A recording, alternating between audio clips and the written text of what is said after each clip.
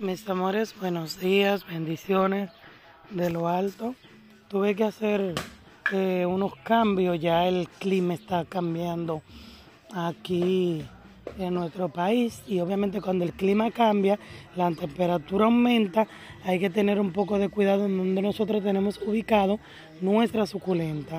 Este calanchoe, este calanchoe lo tenía a sol directo, miren qué hermoso color tiene él, qué bello está.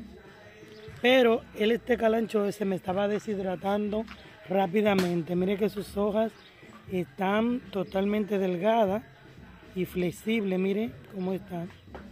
¿Por qué? Porque el sol, el clima que tengo, ese cambio de clima, me estaba deshidratando el calanchoe de una vez y aún el sustrato está todavía que no está de riego. Todavía no está de riego este sustrato y la planta se me estaba deshidratando de una vez, entonces tuve que cambiar igualmente a este bebito que tengo aquí. Tuve que también cambiarlo de sitio. Va a llover y se siente que va a llover, ya está nubladito. El, el sol se ha ocultado, va a llover. Y le va a caer un poquito de agua, vamos a ver si ahora que lo cambié de lugar se hidrata más.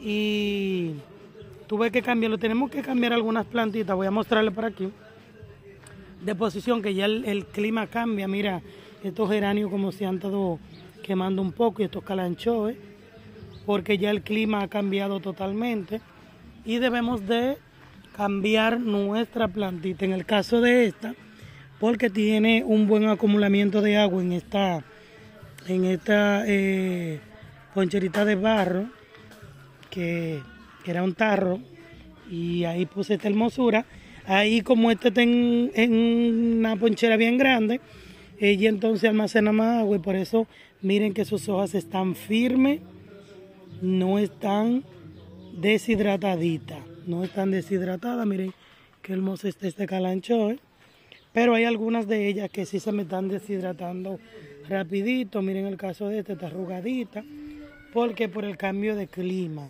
estas rosetas estaban sumamente abiertas y ya se están cerrando. Hay un cambio de clima, mire este, déjeme sacarlo para que ustedes puedan apreciarlo mejor.